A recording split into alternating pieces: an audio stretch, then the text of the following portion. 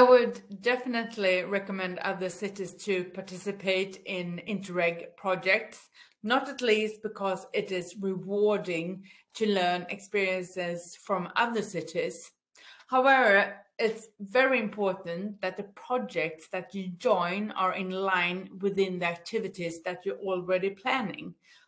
that you are focused on uh, in, our, in your city, so that you can use the project to make uh, to take your existing work and process to a higher level.